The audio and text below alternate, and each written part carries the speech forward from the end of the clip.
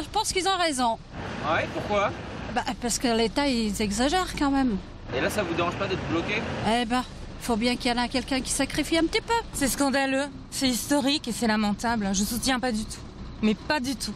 Pas du tout. On est pris en otage, c'est la galère. Même si on le savait, là, c'est historique. Bah au moins ça risque de faire bouger les choses, tout simplement. Ça fait combien de temps que vous êtes dans les bouchons là? Une demi-heure, un kilomètre. C'est nul. Ah ouais, pourquoi? Hein? Ah, Parce qu'ils empêchent les autres d'aller travailler. Si eux ne gagnent pas leur vie, bah, qu'ils nous empêchent pas de gagner la nôtre. Nous aussi, on est des petits artisans, on a besoin de gagner notre, notre journée de travail et là, on peut pas.